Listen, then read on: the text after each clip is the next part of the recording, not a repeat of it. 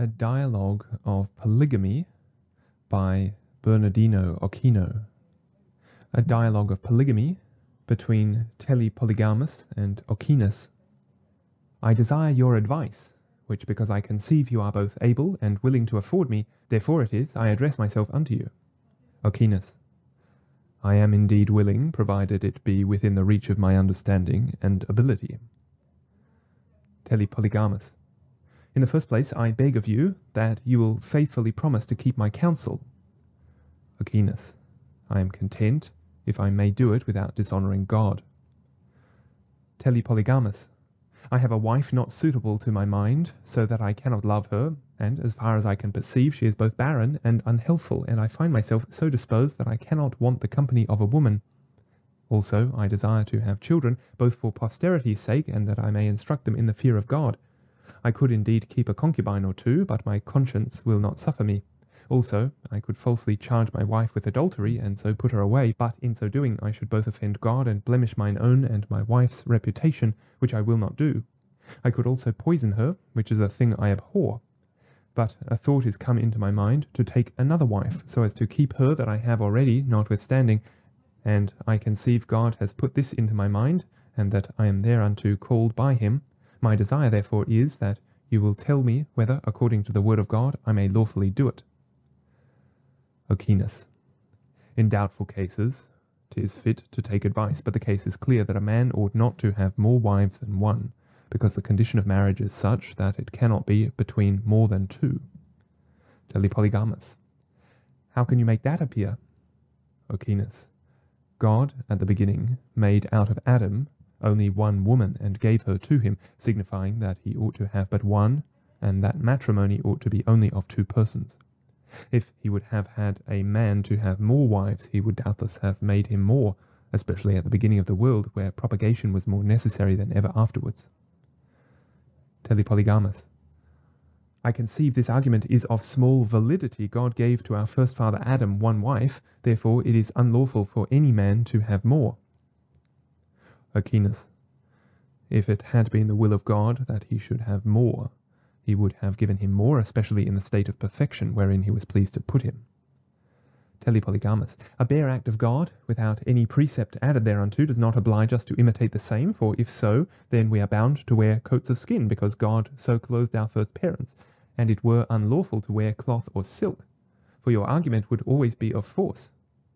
God clothed them with skins, and he could have clothed them with cloth or silk, if it had been his pleasure that men should be so clothed, if an act of God alone do bind us as much as a precept, so that God's giving Adam one wife only were as much in effect as if he had said to him, I will and command that every man have one wife only, it would follow that not only it should be unlawful for a man to have more wives than one, but that every man that did not take a wife, it being in his power so to do, should sin, which is contrary to the doctrine of St. Paul. Ochinus. You must understand that Paul is not contrary to God. For in that God gave only one wife to Adam, it was all one as if he had said, I would not have a man to have more wives than one, and it is my pleasure that he have one, unless I shall call him to a single life, and give him the gift of chastity, and that is the intent of Paul. Telepolygamus. And I, for my part, must say that when God gave Adam one wife, it was as if he had said, It is my pleasure that a man shall have one wife, if either he shall want the gift of continency, or I shall call him to a married condition. It is also my pleasure that I shall have no more, unless he stand in need of more, or I shall call him to more, which is at this time my condition, who stand in need of, and am called to marry another. Ochinus. That a single life is pleasing to God, the word of God shows, but we are not thereby taught that he is pleased men should have more than one wife. Ochinus. Nay, verily, both God's word and the saints' example do reach the same, as we shall show by and by. But go to, suppose it had been God's pleasure that every man should have so many wives as it was possible for him rightly to govern and instruct together with their children. How many wives must he have given Adam, thereby to signify his pleasure in this point? Ochinus, you suppose that which cannot be, seeing the having more wives than one is repugnant to true matrimony. Telepolygamus, you have not yet made it clear to me that to have more wives than one is repugnant to marriage, otherwise than by saying that God gave one to Adam. Let us now suppose he had given him more. Doubtless from that first institution you could not prove that a man ought not to have more, nay, it would follow of necessity that a man might have more. How many wives, therefore, in such a case, had it been necessary for God to give Adam to signify his pleasure in this point? Ochinus. Two would have been enough. Telepolygamus. Now then, if that action of his had been a precept, as you say, it would have been unlawful for men to have had more or less than two wives, which nevertheless would not have been answerable to his will, seeing his intent was that they should have as many as they could govern. We must therefore confess that by a bare act of God, no command being added, we are not obliged to the imitation thereof. Otherwise, it would be a sin for a minister to celebrate the Lord's Supper unless the communicants were just so many in number as the apostles of Christ were when he instituted the same. Ochinus. Although it does not necessarily follow that because God gave one wife to Adam, therefore it is unlawful for a man to have more, yet it is doubtless a very probable argument to persuade, and urges strongly, though it be not altogether compulsive. Telepolygamus. Nay, verily, it urges not at all, since it may be said that God gave one wife to Adam, not to show that his will was that every man should have but one wife, but that the rest of mankind, being born as well of one mother as one father, might love one another so much the more. Also, that Eve, being made of the rib of Adam, might be a figure of the Holy Church, the only spouse of Christ. Ochinus. Go to, let us come unto the words of the text. Do you not think that Adam was moved by divine instinct when he said, for this cause shall a man leave his father and mother and cleave to his wife. Telepolygamus, without doubt.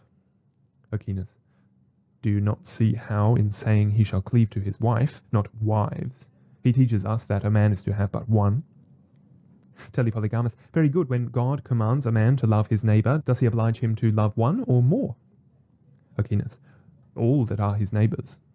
Telepolygamus, that's false, for he says, Thou shalt love thy neighbour, not thy neighbours and therefore whoever loves one of his neighbors has fulfilled that command. Ochinus. Christ, when he said, Thou shalt love thy neighbor, spoke it in this sense, as if he should have said, Thou shalt love everyone that is thy neighbor. Telepolygamus. So likewise Adam, when he said, He shall cleave unto his wife, did intimate that he should cleave unto every one that shall be his wife, and therefore, here there is a lacuna in the text not be proved by those words that it is unlawful for a man to have more wives than one. Ochinus. But what will you say to those following words of his? And of them twain shall be made one flesh. For he does not say of three or four. From these words it is doubtless manifest that God would not have marriage to be made between more than two. Telepolygamus. Adam says not that of them two shall be made one flesh, but they shall be made one flesh. Ochinus, but that was his meaning, as plainly appears from the words of Christ, who, citing the said speech, says that God by Adam declared, They two shall be one flesh, adding moreover this following clause, They are no longer two, but one flesh. Telepolygamus. It is as if he had said, The husband shall love every one of his wives as if she were the same flesh, and the same body with him, and so likewise shall every wife love her husband.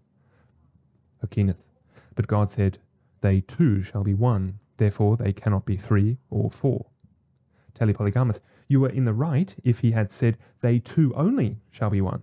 And therefore, as this argument is of no force, Christ said, If two of you on earth shall agree about a thing, they shall obtain what they ask.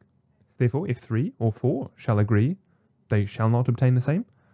So is this no good inference? God said, They two shall be one flesh. Therefore, if there be three, it is no true marriage. Ochinus, it is impossible for more than two to become one flesh. Telepolygamus.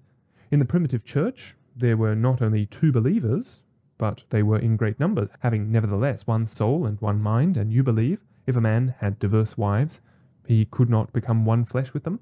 If a man, while he cleaves unto an harlot, becomes, as Paul says, one body with her, although he have a wife, should he not much more become one flesh with her, if he should make her his wife? Ochinus. Say what you will, to have more than one wife is a thing filthy, dishonest, and quite contrary and destructive to the holy state of matrimony. Telepolygamus. And yet you know that Abraham had more wives than one, as also David, and many other men under the Old Testament, who, in case it had been unlawful for them to have more than one wife, they should have sinned in marrying diverse women, and the children which they had by all their wives, excepting the first, should have been bastards, because not begotten in lawful matrimony. Ochinus. I will sooner grant all that you have said than I will allow, or grant it lawful for one man to have more than one wife. Those ancients were holy men, yet did they sometimes sin. They were sinners, as being born of Adam, as appears in the example of David, and they should have deceived themselves if they had denied themselves to be sinners. Telepolygamus. That they sometimes sinned I shall easily grant, but I will never yield that they continued in their sins till their day of death, which nevertheless they did, in case it was unlawful for them to have diverse wives. Whence it would follow that they were all damned, as those who die while they keep a concubine. As for us, we cannot hold them for saints, seeing we know not for certain that they ever repented.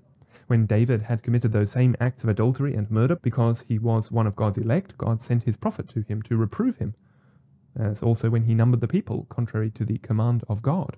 Credible, therefore, it is that if to have diverse wives had been contrary to the law of God, God would have used the like proceedings towards him, that he might not be damned. But though you read the whole Bible over, you shall never find that God has forbade the having of diverse wives. And yet, if it had been a thing unlawful, Moses would never have dissembled the matter. Moreover, the scriptures tell us that David was a man after God's own heart, and that he was obedient to all the Lord's commandments all his life long, save in the matter of Uriah. So that, had it been a sin to have diverse wives, seeing that also had been sufficiently known, the author would have accepted it, or he must doubtless make himself a liar by saying that David committed only that sin of homicide under which his adultery is comprehended. Again, how could that be true which God said to David when blaming him for his unthankfulness? He told him that he had given him many wives, which questionless must have been all whores except the first, and so it had not been God, but the devil, that gave them unto him. Moreover, you shall find that God made a law that if any man had two wives, the one beloved and the other hated, and had by them diverse children, the eldest of which was the son of the hated wife, it should not be allowed the father to make the son of his beloved wife his heir. Now it might fall out that the beloved wife might be his first wife, and so it should come to pass that, though the husband had children by the latter, sooner than by the first, yet they should be bastards, if your opinion be true and born of an whore, and therefore ought not to be heirs. It is therefore clear by the word of God that all the children are legitimate, though sprung from diverse wives by one and the same husband, and that therefore not only the first, but the following marriages are lawful, seeing God did both approve and bless them in those holy men, the first fathers of the world. Ochinus. The first thing which you say follows from my opinion, that all which died, having many wives, should be damned. I answer, if they are dead, not having divorced all save their first wife, or without repenting of their sin, they are all damned. But as many of them as are saved did repent, and put away all but their first and lawful wife. Telepolygamus. But it is not apparent that ever any did that, and yet if your opinion were true, mention ought to have been made thereof in the Holy Scriptures, that we might know and understand that to keep diverse wives is an abominable thing. Ochinus. It was already known that men ought not to have more wives than one, because God had commanded that the husband and the wife should of two become one flesh. Telepolygamus, it is not likely that it was unlawful to have diverse wives, and that the unlawfulness thereof was known, and Abraham and Jacob and David and other worthy persons like them should nevertheless marry more wives than one. Ochinus, that's a good one, as if many holy men in ancient times did not sin, though they knew what they did was unlawful. Telepolygamus, but they did not continue to their lives' end in those sins, as those that married more wives than one did. Ochinus, I told you before that if they were of the number of God's elect, they did at last repent. Telepolygamus, but we ought no longer to reckon the patriarchs, for example's sake, to be saints, seeing we are assured that they sinned in having many wives, but we are not assured of their repentance. Ochinus, True, unless the word of God assures us that they were saints, as we know, for example's sake, Abraham, Isaac, and Jacob to be saints, because Christ said that many should come from the east and from the west and sit down with Abraham, Isaac, and Jacob in the kingdom of heaven.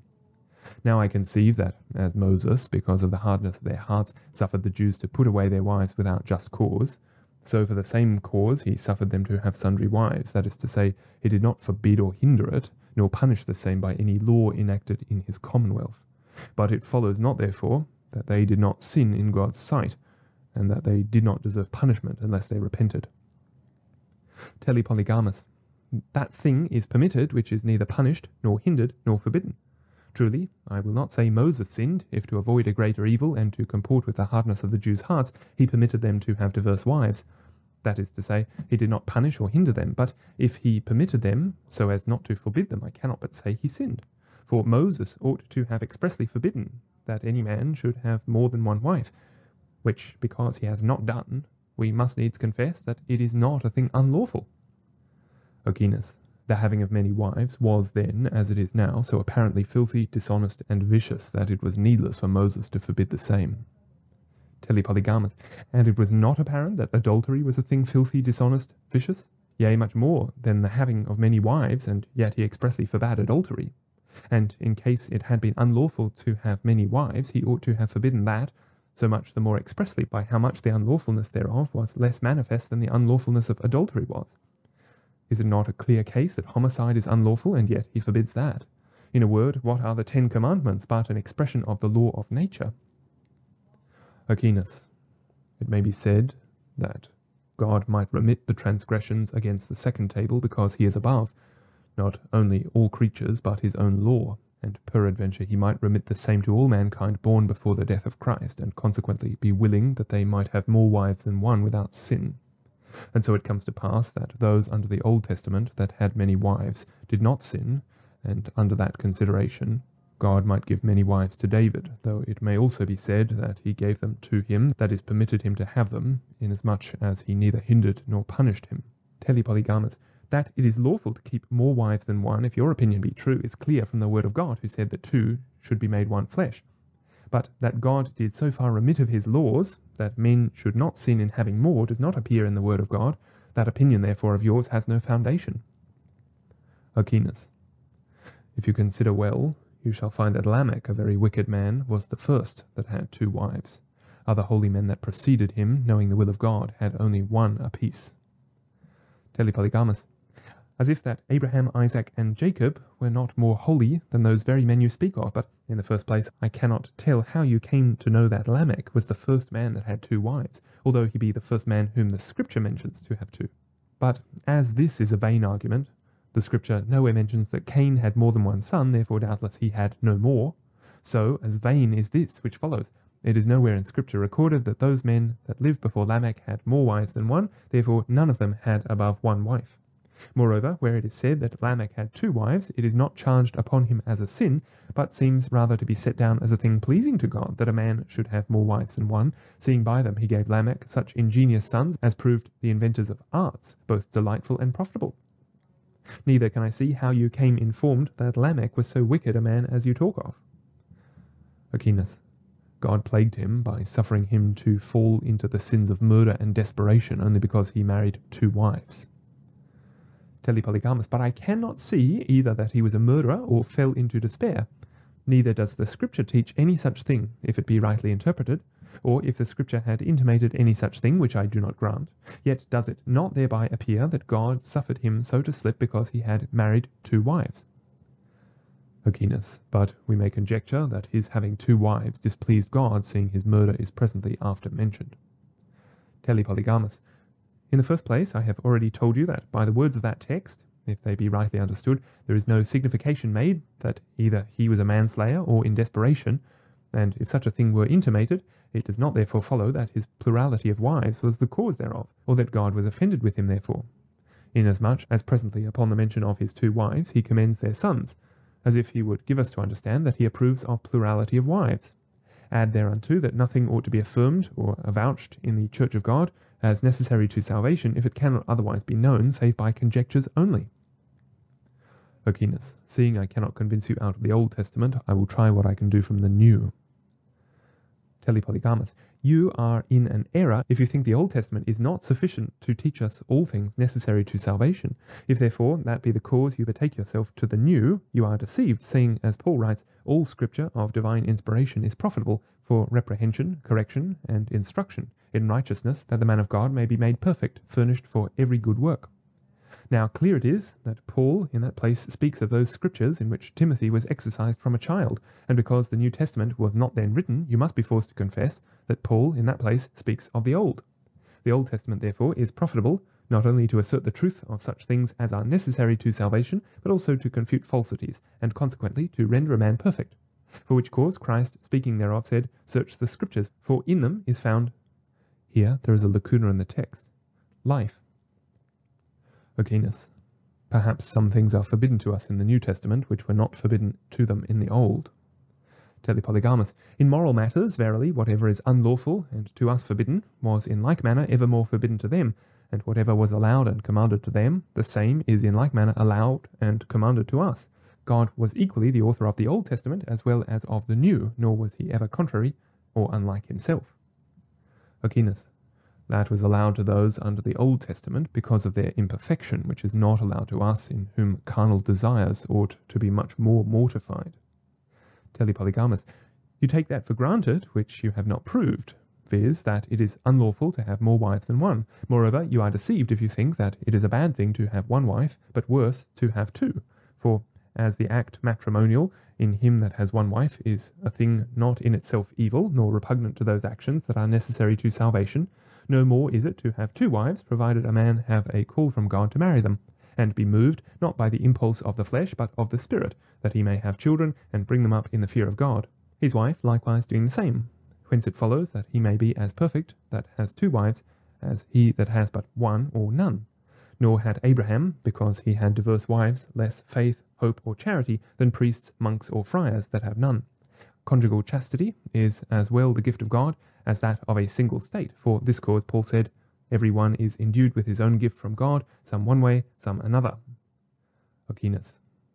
In that place the apostle exhorted the Corinthians to a single life, and that for no other cause but that a married estate has many encumbrances attending the same inasmuch as married people, being entangled with worldly affairs, are not so free to pray and preach up and down and do good to others as single people are. Now, if so be the having of one wife do bring so many impediments, any one may soon conjecture what the having of diverse wives will do, and therefore to have more wives than one is unlawful.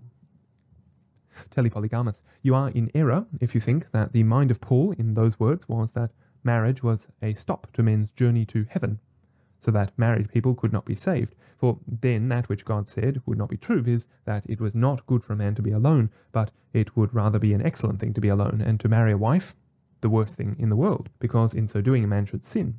Moreover, I add that not only a married man may be saved, as well as a bachelor, but be as perfect as he, inasmuch as he may attain as great perfection in faith, hope, and charity as the other. And if he cannot personally perform some external works which the single man can, as hindered by his married estate, yet he may in mind perform the same, and that is it which God regards. Ochinus. Though matrimony do not hinder a man from going to God, yet the having of more wives than one does. Telepolygamus. How prove you that? Ochinus. From Paul, who, speaking of bishops, says he would have them to be the husbands of one wife, meaning that they should have no more. It is therefore unlawful to have more wives than one. Telepolygamus. Nay, rather, when he tells them by name that they should have one, lest having more they should be too much distracted with worldly business, tis easy to see that he allows other men to have more. Ochinus. Some do thus interpret the mind of Paul. A bishop is to have but one wife, that is, say they, one church for his spiritual spouse. Telepolygamus. Many reasons show that to be a false opinion. First, because Christ is only the spouse of souls and bridegroom of his church, and if we that are ministers be his friends, we ought, with John Baptist, as the friends of Christ, the only true spouse of souls, to send them to him, their bridegroom, and not to draw them to ourselves. The churches, therefore, of Christ are not the bishop's spouse, and if they were, as the husband is superior to his wife, so should they be to their respective churches, against which Paul writes to the Corinthians when he says, We are not lords over your faith, or over you by reason of your faith. The church, therefore, is not Paul's wife. I confess indeed that one church is enough for one pastor, and he does no small matter if he can govern that well. In the ancient times of Christianity, one church sometimes had diverse pastors, as appears from the epistle to the Philippians, in which Paul salutes the bishops, which were at Philippi, whereas nowadays one bishop has many churches. Moreover, when Paul says a bishop ought to have one wife, he speaks of the manner of him that was fit to be a bishop. But if he be yet to be chosen, he is no bishop, and therefore has no church as yet that might be called his wife. Hereby also it is manifest that by wife he did not mean church, because presently, almost after those words, he makes mention of his children, commanding that he govern his family well, and have his children subject to him with all reverence. For if a man cannot govern his own family, how can he oversee the church of God? In that place, therefore, he speaks of a wife, and not of a church. Ochinus. Some say that Paul in that place forbids such men to be chosen bishops, who have had diverse wives, though not at one and the same time. Telepolygamus. But I do not conceive that Paul counted it sin after the death of a man's first wife to take a second, forasmuch as much as he himself says that after the death of the husband the wife is free, and may, without blame, marry another. So far it is from being unlawful for a man after the death of his wife to marry another. Ochinus. They say it is a shameful thing when a man's first wife is dead to marry another. Telepolygamus. If you weigh the matter rightly, and follow not the opinion of the blind vulgar people, you shall find that the matrimonial act is as free from turpitude as the actions of eating and drinking, nor would God have commanded matrimony if it had been evil, which nevertheless he did, when he said, Increase and propagate. Ochinus, I condemn not matrimony, but the iteration or repetition thereof.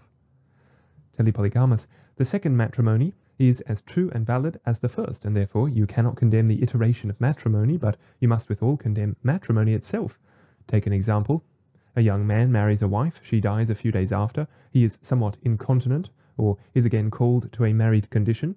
Who knows not that he is, according to the precept of Paul, seeing he cannot contain, ought to take another wife. Ochinus.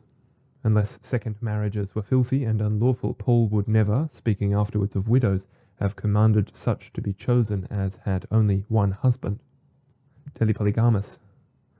Think you that Paul was superstitious? Ochinus. I do not think he was. Telepolygamus. If a young widow, somewhat incontinent, had asked Paul's advice, what think you Paul's answer would have been? Ochinus. That she should marry again according to his own doctrine. Telepolygamus. It is not therefore unlawful to marry again. Why then should Paul reject such widows as had had more husbands than one? For it was possible that some widow, having had diverse husbands, might be holy and honest, than they which had had but one. Also it might fall out that she which had had diverse husbands might live but one year with them, whereas the rest, that had never more than one, might have lived with him thirty or forty years. In such a case truly I cannot see why they should be more worthy to be chosen than she. I do therefore believe that the mind of Paul in that place was this, that such widows were not to be chosen that had had many husbands, that is to say, who being divorced had married again, their former husbands, who divorced them being yet alive. For either they were divorced upon a just ground, and then it was not fit they should be chosen, or upon an unjust ground, and so the matrimony remained good, having never been violated, and then the divorced woman had sinned if she married to another by which means it came to pass that all women divorced were infamous, not only such as married to other men, but such likewise as abstained from marriage, and especially amongst the Gentiles, whom were not wont to divorce them, save for some fault or vicious quality. Paul therefore did never condemn those women, who, their former husband being dead, married another, nor did he forbid them to be bishops, who, their former wife being dead, married another, which notwithstanding the superstitious papists observe, because they understood not the meaning of Paul. Though a man have kept diverse whores, they make him a bishop, but if his first wife being dead he marry another, they will not. Whence it comes to pass that matrimony amongst them is of worse report than fornication, adultery, incest, sacrilege, sodomy, and all imaginable abominations.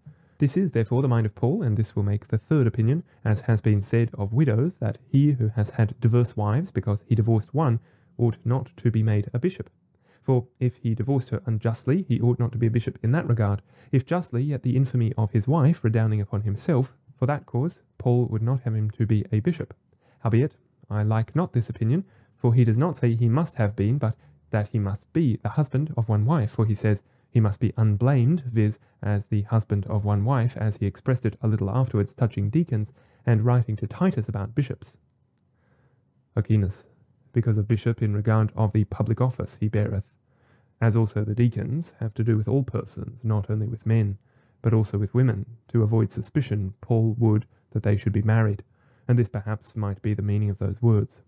Also it may be that Paul, foreseeing the superstition of the papists, who would forbid the marriage of bishops that they might be without excuse, he said they ought to be blameless and to have a wife, but that they should have no more than one he did not say or he shows that a bishop ought to have a wife, that is, he ought to be content with her and not have anything to do with other women, which is as if he had said that he ought to be honest. Telepolygamus. The mind of Paul is this, that it is lawful for the generality of Christians to have many wives, but for bishops to only have every man one, not because it had been a sin for them to have more, but because the duty of bishops being to labour for the salvation of others, he feared lest multiplicity of wives should be a pullback and hinder them from performing their office as they ought to do. For this cause he would have them to have but one, nor is it therefore unlawful for other men to have more. Yea, verily, while he forbids bishops and deacons to have more than one, he closely allows it to other men. Nor is it likely Paul would have forbidden bishops to have more wives than one, had it not been the custom of those times for them to have more.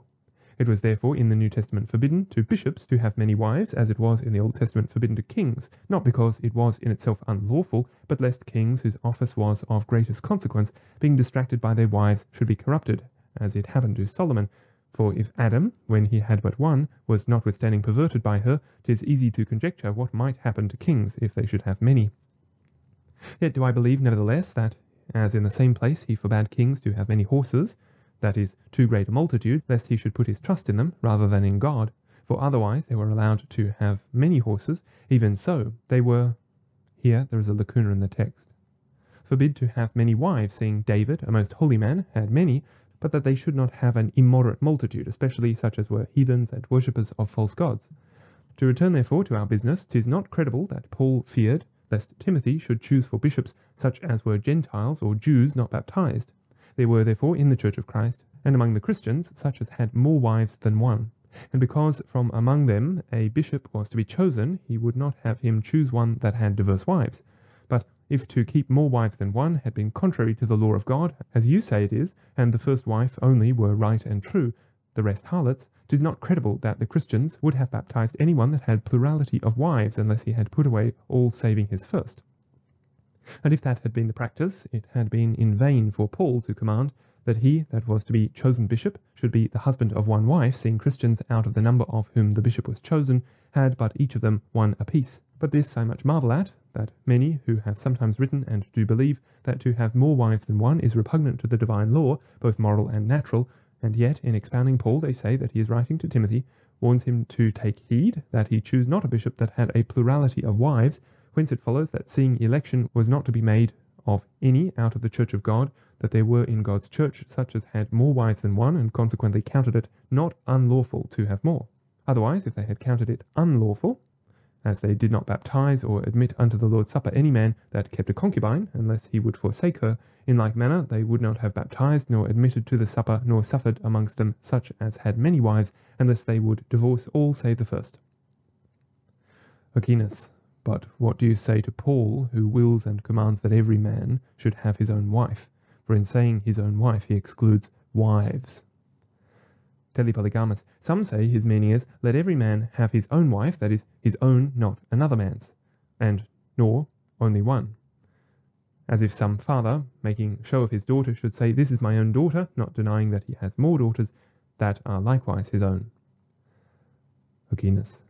In the same place, the same Paul commands that the wife have her own proper husband, that is to say, such a wife as is proper to him alone and not in common with other wives whence it follows that as a woman ought to be proper to her husband and not to belong to other husbands, so the man ought to be appropriated to his first wife and not common to others. Provided you will, as you ought, expound the words of Paul, so as he may not contradict himself. Telepolygamus. Paul does not there dispute whether an husband may have plurality of wives or no, but his intent is to show that such men as have not the gift of continence should take them wives, and that women, in the like case, should marry.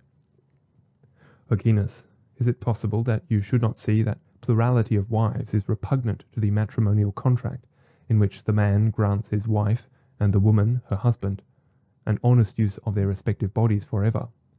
For which cause also Paul says that neither the man nor the woman have power over their own bodies, but each of one another's.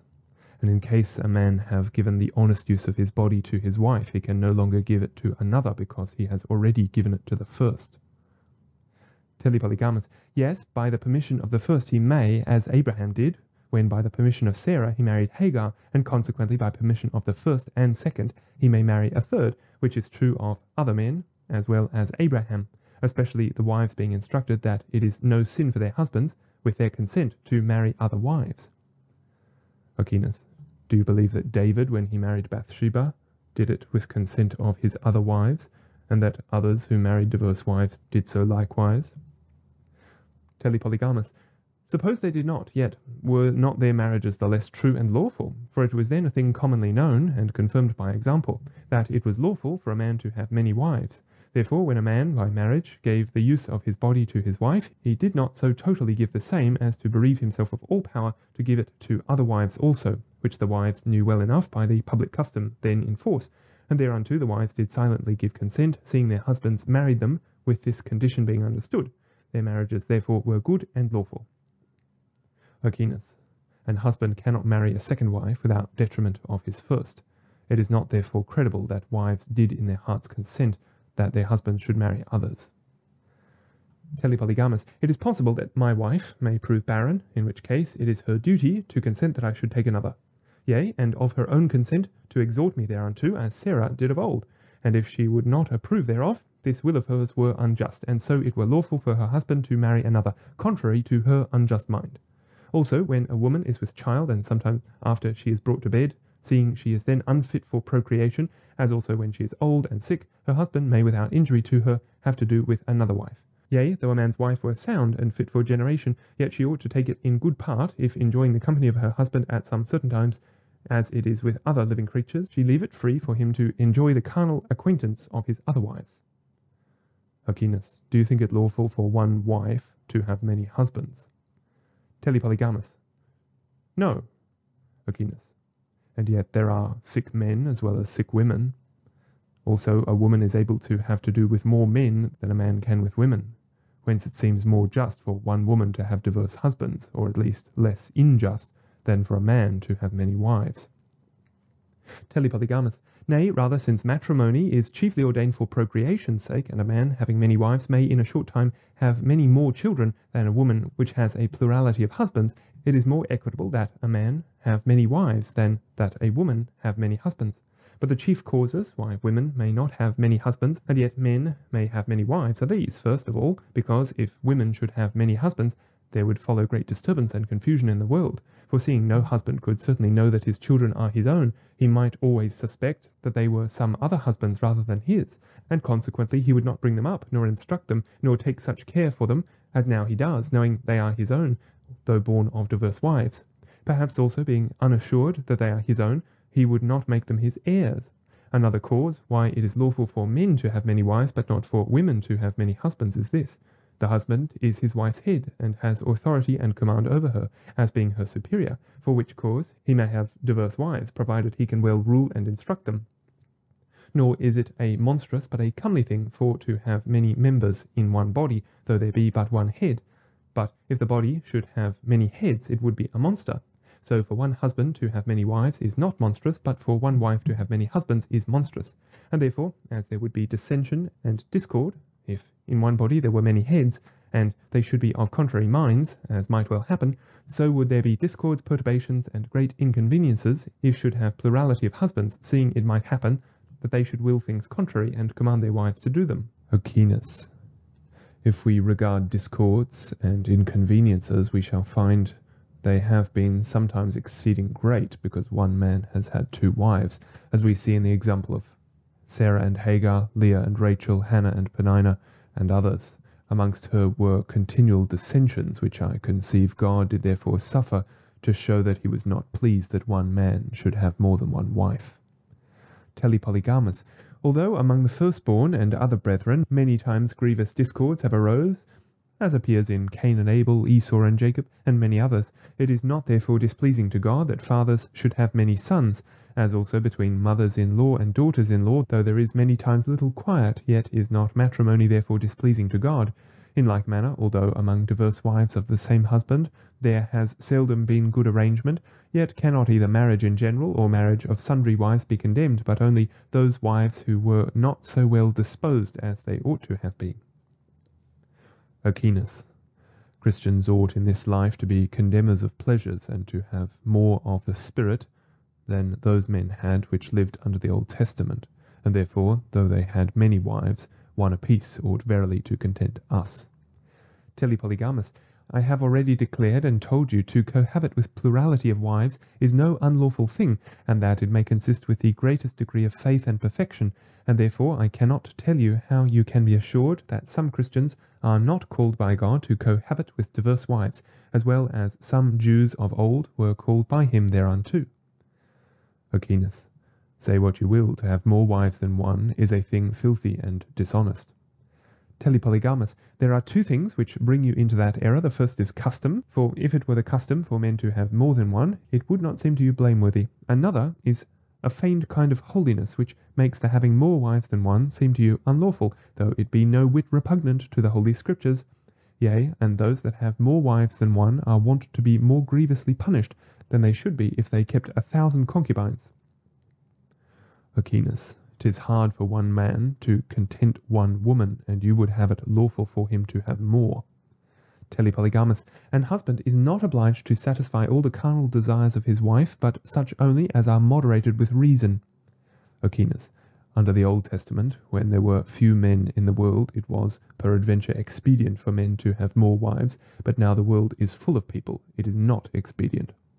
Telepolygamus. In the first place, you know not whether men, if they had more wives, would have more children than they have, or, if they should beget more children, as is very likely, how know you that the fruits of the earth will not suffice to afford them all that should be necessary for their livelihood and all other occasions?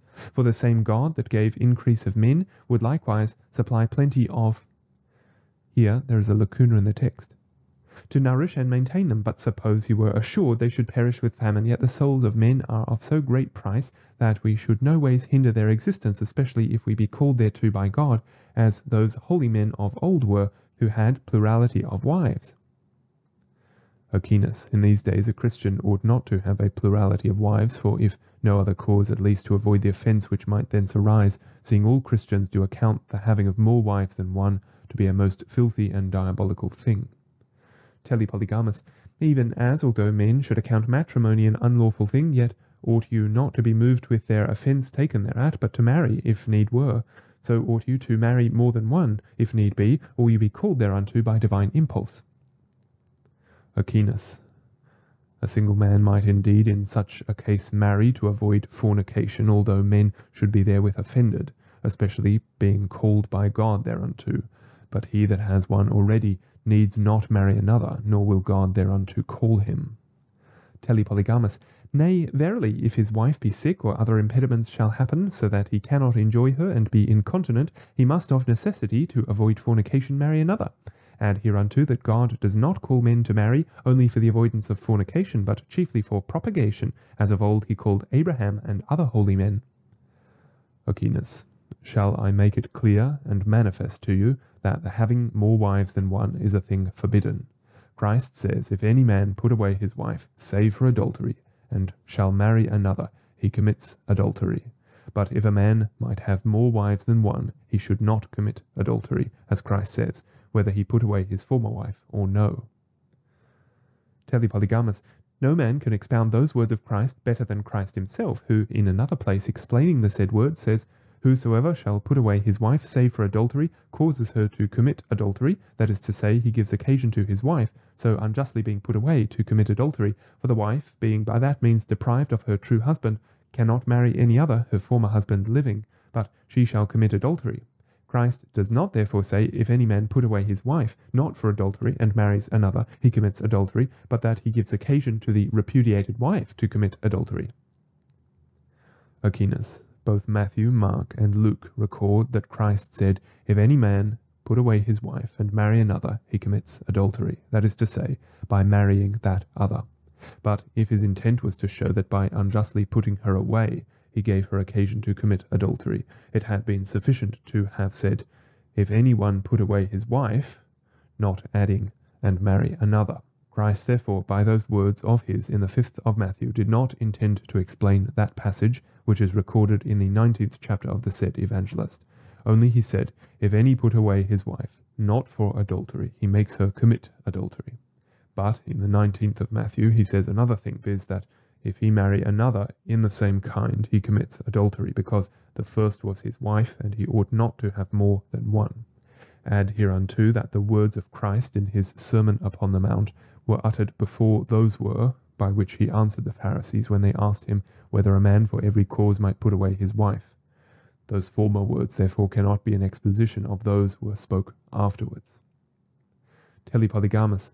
Whether the latter words were an exposition of the former or no, it satisfies me that his meaning is one and the same in both places, viz. that if any man put away his wife without just cause, he occasions her to commit adultery.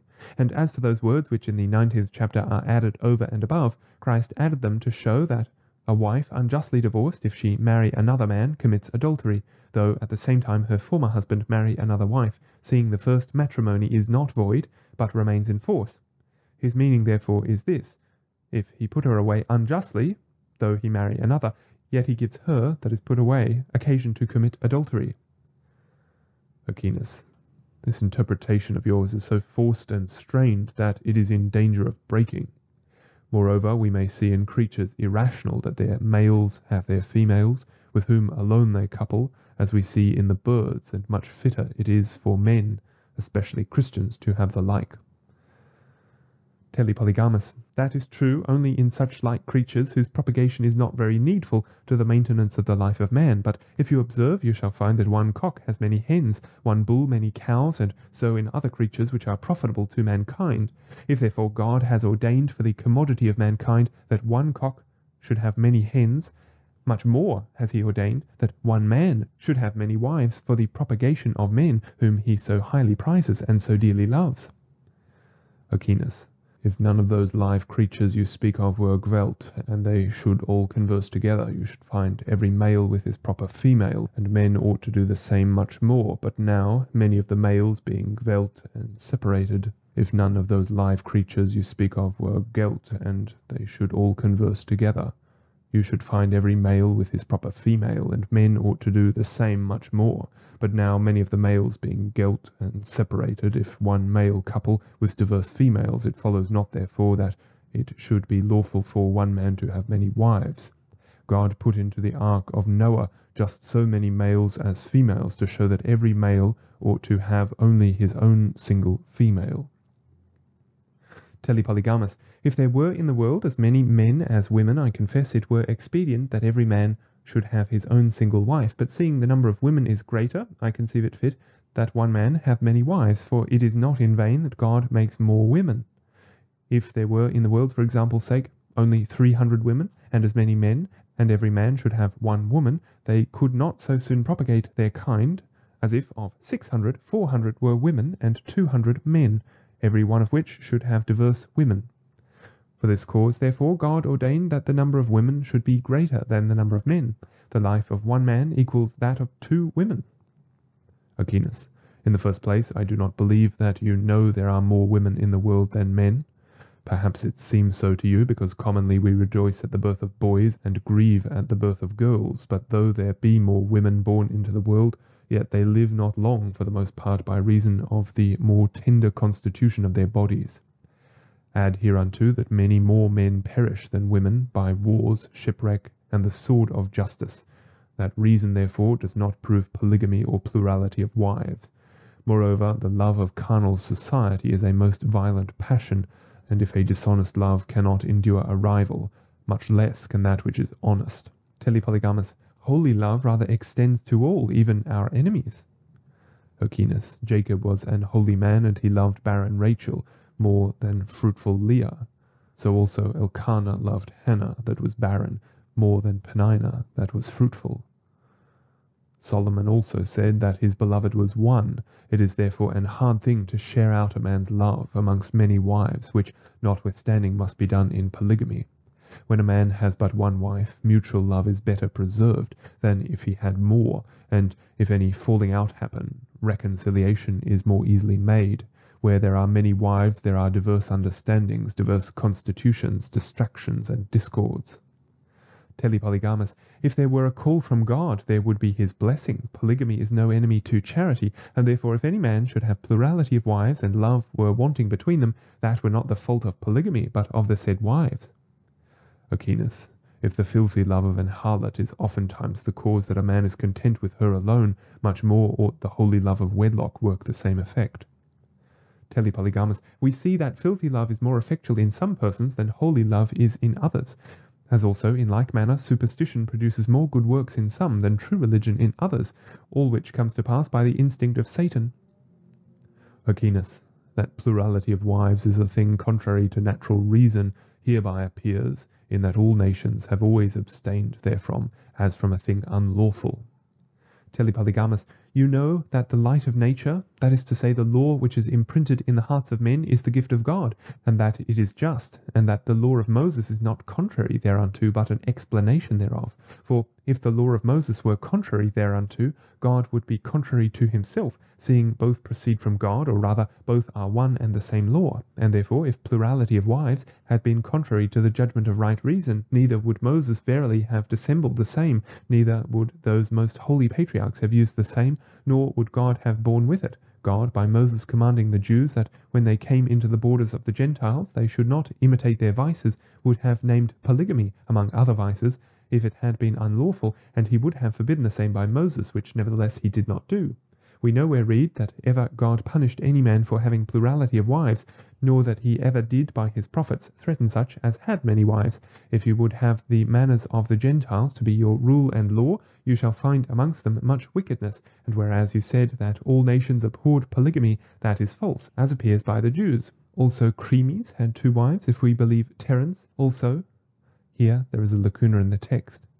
As Sallust relates, in a word, Socrates himself, who, notwithstanding, was the wisest of men, and had much of the light of nature. Ochinus, even wise men sometimes do amiss. Telepolygamus, never any man condemned or reprehended Socrates for having two wives, although for other things he hath been condemned. What needs many words? Polygamy was used as a good thing and very profitable to mankind by furthering propagation, not only among the Jews, but also among the Persians and the Turks likewise. Only in Europe has it been hateful, in which Europe vice has abounded, if not more, yet not a whit less, than in all other parts of the world. Nay, and in the days of old polygamy was commended, even in Europe. Only they would not have in one house many mistresses to rule the family, which was a thing convenient to avoid confusion. Ochinus, I will never confess that it is a good thing to have many wives telepolygamus. That is because you conceive it is an unlawful conjunction, and you are overpowered with an old custom among the vulgar, which in tract of time has won the favour of the common people and the magistrates, by which it comes to pass that the common opinion prevails more with you than the truth itself. Ochinus, but what do you say to the imperial laws which are against you? Telepolygamus, in what place? First of all, the emperors Diocletianus and Maximinus do forbid polygamy in these words, that no man within the jurisdiction of the Roman Empire can have two wives, seeing also of the edict of the praetor. Such men are branded with infamy, which thing a just judge will not suffer to go unpunished. Also, in the same code, that man doubtless that has two wives at once is accompanied with infamy. Telepolygamus. The authors of the first law, as you say, were Diocletianus and Maximinus. The other is taken out of a certain rescript of Valerianus and Gallienus. Ochinus. It is sufficient that being emperors they had power to make laws. It is to be observed that in their days the condition of matrimony in the heathenish empire was such that any man might put away his wife for light and frivolous causes and keep concubines without any shame. Howbeit they had neither the name nor authority of wives. The emperors therefore thus decreed, not because they thought polygamy was unlawful, seeing they allowed many lawful concubines, but they judged it fit that only the first should have the title and authority of a wife, especially seeing they might divorce her if she pleased them not. Ochinus, but we see that concubines were forbidden by the Emperor Constantine.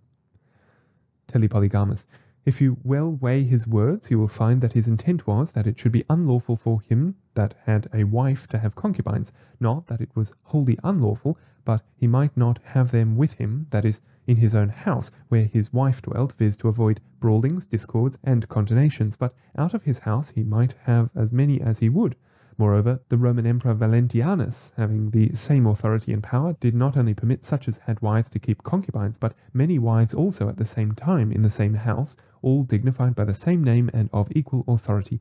And Valentianus himself at the same time had diverse wives, and thereby the law of Valentianus, which was afterwards made, the former law of Constantine, was abrogated. Ochinus. But Justinian in his code makes no mention of that law of Valentianus. Telepolygamus, yet that law of his was doubtless published, as appears by the histories. Add hereunto that besides Valentianus, it is apparent that Constantinus also, the son of Constantine the Great, had many wives. Clotarius also, king of France, and Heribertus and Hilpericus, his sons, had plurality of wives. I add, here there is a lacuna in the text. And Charles the Great, of whom Urspergensis witnesseth that they had more wives than one, yea, and Lotarius, and the son of Lotarius, as also Arnulfus, the seventh emperor of Germany, and Frederick Barbarossa, and Philippus Deodatus, king of France, and many more. Nor will I deny that it is a wicked thing to do as some do, who, having wives, leave them, travel into strange countries, and marry others. But I speak of such as take care of both their wives, and are thereunto called by God. Ochinus, you suppose that which never was in the world, viz., that any man should be called by God to have two wives. Telepolygamus, even as Abraham, Jacob, and many others were called by God thereunto, so may we. Nor do I see why they had more need of this remedy than we, nor why it was rather their duty to beget and bring up numerous progeny than ours. Ochinus, Constantine will not have men to keep plurality of wives, nor will the emperor that now reigns. Telepolygamus, tell me what is just and fit, and not what men will, the law of nature is unchangeable, and if in the days of Abraham it was agreeable to reason to have plurality of wives, as a thing honest and just, otherwise we may assure ourselves Abraham would not have married above one, and therefore we must confess that it is at this day a thing fit and just, and so it was in the days of Constantine, for though he were an emperor, yet could he not make that to be unjust which was just in itself. Doubtless that ancient Church of Christ had the knowledge of divine matters, and yet neither that Church nor the emperors of those times did condemn or punish polygamy. But men had rather seem to be good than be so indeed, since they are so great haters of plurality of wives, but not of adultery. Finally, to condemn polygamy is for a man to prefer himself before God, who never condemned the same, and to strive to be more perfect than he. I spare to say that I may not allow of the laws of the emperors in cases of matrimony, seeing they refer the business to the ecclesiastic laws. Ochinus, if you will be tried by them, I am victor. Telepolygamus, bring one canon that makes for you. Ochinus, in the times of the fathers, polygamy was accounted so filthy and so notoriously and manifestly abominable that they did not think fit to condemn it by words. Telepolygamus, but I, for my part, am verily persuaded that those fathers of the ancient church were contented with the canon of Paul, who would have the ministers of the church to be contented with one wife, not because it was in itself unlawful to have more, but that they might the better execute their office, but he allowed others to live according as they found themselves inwardly moved by God. Ochinus, and yet plurality of wives was forbidden in the third and seventh Neo-Caesarean council. Telepolygamus, I say it was never forbidden, neither in them nor in any other.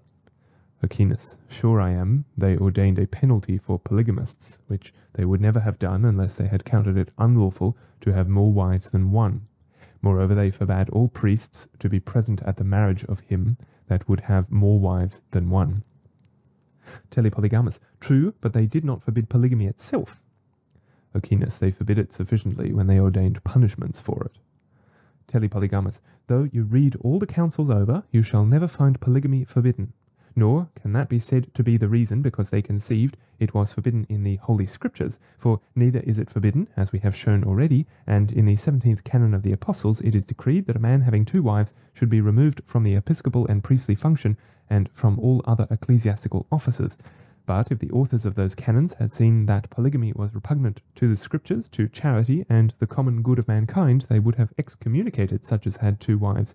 Nor would they only have kept them from the communion, but they would also have punished them grievously. But those apostolical persons, as Paul had done before them, did only forbid the ministers of the church to have more wives than one, not as if it were a thing repugnant to common honesty, but because it would draw them away and divert them from spiritual exercises, but because afterward men began by little and little to turn aside from the right way, so that many now fell to account marriage unlawful, they were not ashamed to write that a man's first wife being dead, it was adultery and not marriage to take another, touching which matter you may see what Gratian writes. So also Jerome and Tertullian interpret that saying of Paul and the apostles as if his intent had been that he which had two wives, though one after another, might not be a minister in the church of God, as also he that married a widow or a divorced wife, which is observed at this day by those most holy men, Sir reverence the papists, who notwithstanding create men of extraordinary and noted filthiness for their bishops. But mark what I shall say, the life of a courtier and a soldier is not sinful in itself, but many may be called by God to embrace the same, and yet in the twelfth canon of the Nicene Council it was decreed that those men should be severely punished who, having left the wars, should become soldiers again, notwithstanding in those times war was seldom made, saving against idolaters and infidels. In like manner, though they decreed penalties for such as had second wives, yet is not bigamy therefore sinful, nor does it follow but that many may by divine instinct be called thereunto. There are many such canons, especially concerning matrimony, which want amendment, nor are we tied by any canons but such as have their foundation in the word of God. The fathers have many times erred, as being men, and sometimes swerving from the rule of God's word. Moreover, we ought to believe that Paul taught the Ephesians for example's sake, and the rest of the churches all things necessary to salvation, as himself testifies, and yet he taught them not that any were to be tied to one wife excepting ministers of the church. Ochinus. He might therefore peradventure do that to the intent that others by their example might by little and little be brought to practice the same. Telepolygamus. In the first place, that which you say is not founded upon any word of God, without which it seems to me an impious thing to bind men's consciences. Moreover, Everything that is convenient for bishops ought not to be propounded as an example for all to follow. Ochinus, yet it is much to say that the Church has erred for the space now of a thousand two hundred years in punishing bigamy.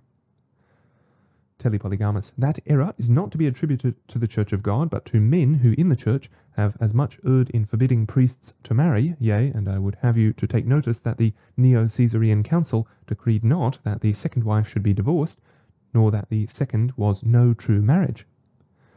Ochinus, the council declared that sufficiently by decreeing penalties for such as had two wives. Telepolygamus, Augustine judges that man to sin who, having made a vow of chastity, marries a wife, and yet he accounts it true marriage, and that it ought not to be made void. This argument, therefore, is of no force. The council enacted penalties for such as had two wives, and therefore the second was no true marriage. Moreover, though above a thousand years are past since penalties were enacted against such as had two wives, yet is it not above four hundred years since that decree was first received by the Italians, Spaniards, and Germans, for it is but an humane constitution, and the bishops would have exclaimed against Valentinianus for his plurality of wives, but that he had the Holy Scriptures on his side, and notwithstanding they reprehended such as had more than one wife, as Augustine and Boniface did, as persons that seemed overindulgent in the flesh, they did not therefore excommunicate them or reckon them for such as could not be saved. Ambrose was a very sharp reprover of sin, yet we do not anywhere read that he reproved Valentinianus for having two wives. Yea, and the said Ambrose, reprehending Justina, his second wife, for being an Arian, must have reproved her also for being no true wife, but a concubine, which notwithstanding he did not do. It is likewise recorded that Leo the fifth when he heard that a certain bishop in Africa had two wives, he only decreed that by reason of the words of Paul he should be degraded from that honour, but not that he should put away his second wife, or be otherwise punished for having two.